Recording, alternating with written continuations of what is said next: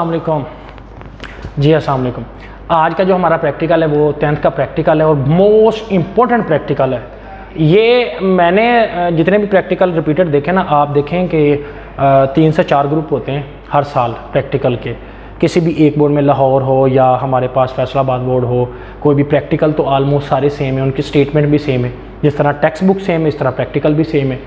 अब हमारे पास उनकी जो प्रैक्टिकल की स्टेटमेंट सेम है तो अब मोस्ट जो है, उनमें सारे रिपीटेड जो है प्रैक्टिकल में ये प्रैक्टिकल है। प्रैक्टिकल है demonstrate the sugar decompose to element or other compound साबित करें कि शुगर अपने एलिमेंट्स में कैसे टूटती है। शुगर का फार्मूला होता है sucrose C twelve H twenty two eleven इसको हीट करेंगे तो जल के ना राख हो जाती है कार्बन और साथ में वाटर हो जाते हैं।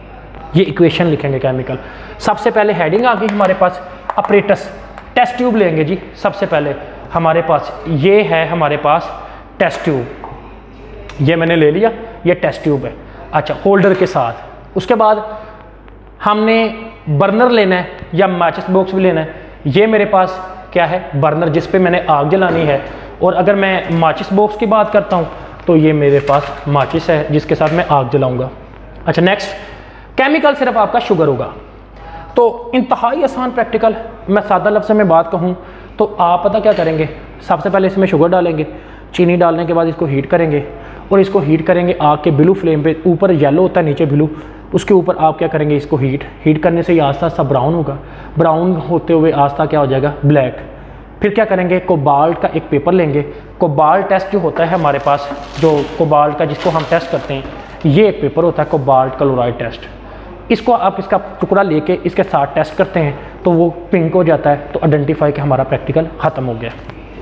अब देखें हमारे पास इस प्रैक्टिकल को।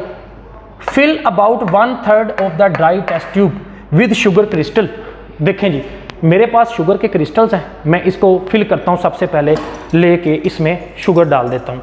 अब मैं अगर इसमें थोड़ी सी शुगर डाल देता हूँ तो अगर मैंने, आप कम भी ले सकते हैं ज़्यादा भी ले सकते हैं, ये डिपेंड करता है ज़रूरी नहीं है, आपने उतनी ही क्वांटिटी में लेनी। ये मैंने शुगर की चीनी वगैरह, जो शुगर जिसे हम चीनी कहते हैं, उसको डाल दिया। आगे fix the test tube on holder इसे होल्डर पे मैंने देखें ऑलरेडी फिक्स किया हुआ है। एंड क्लैम्प क्लैम्प वगैरह को, इसको भी टाइट कर ले इसको।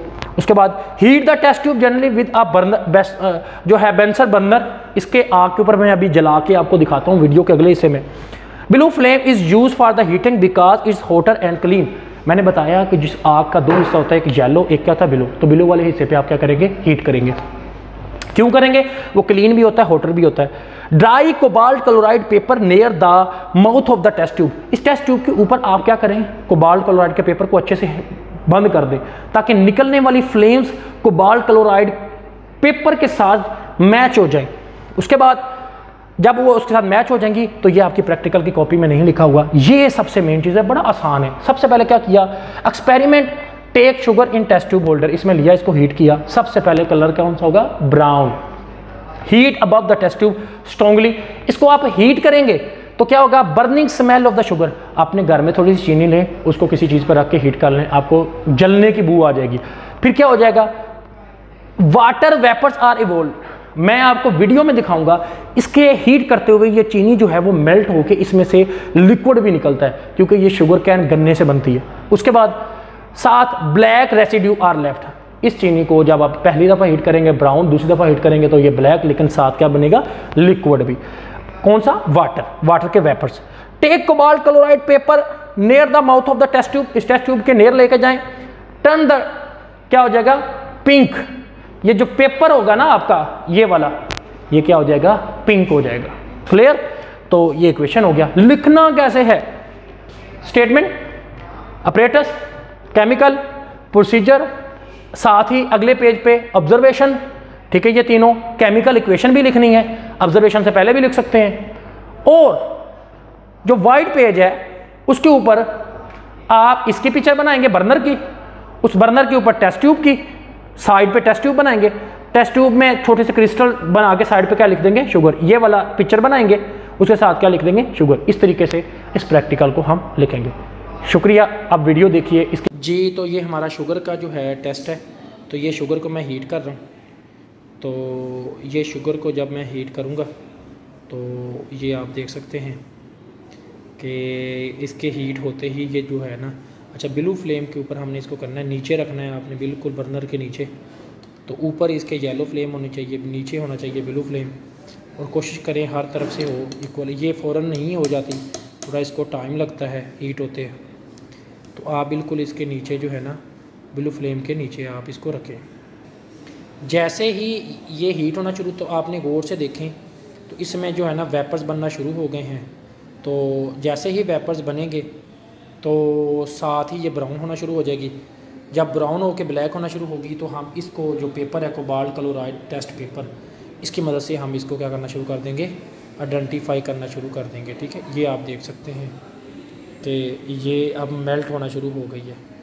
और अब मज़ीद इसको हीट करेंगे तो ये आपके सामने ब्राउन हो ये ब्राउन कलर जो है ना, इसका आना शुरू हो गया आस्ता आस्ता तो ये सारे का सारा ब्राउन हो जाएगा आस्ता आस्ता थोड़ा।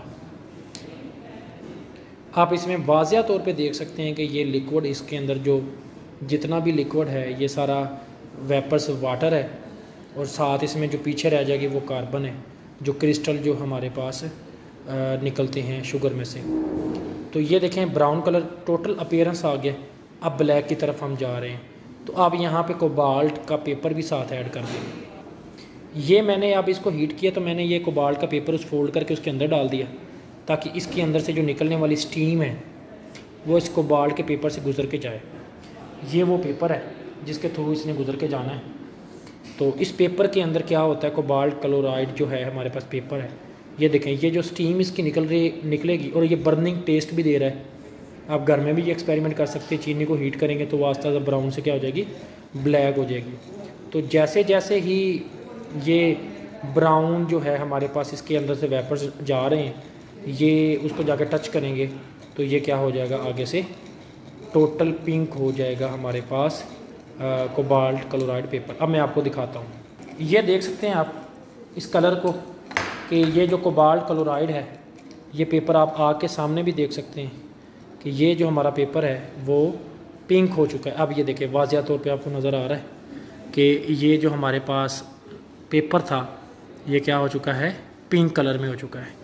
तो हमारा इससे आइडेंटिफाई हो गया कि जो हम प्रैक्टिकल करना चाह रहे थे। शुक्रिया।